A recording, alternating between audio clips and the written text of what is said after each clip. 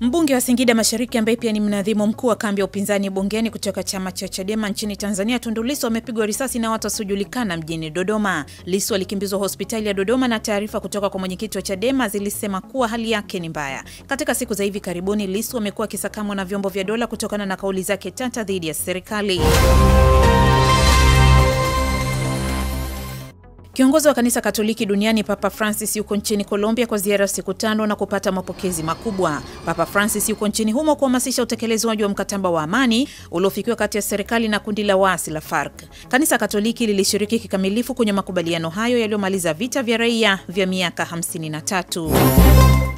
Watu kadhaa wameripotiwa kufa kutokana na kimbunga Irma kilichoathiri visiwa vya Caribbean. Kimbunga hicho kimerekodiwa kuwa kikubwa zaidi katika bahari ya Atlantiki kilichosababisha upepo mkali. Kinatarajia kuiathiri pia Puerto Rico na Cuba kabla ya kuelekea eneo la bara nchini Marekani.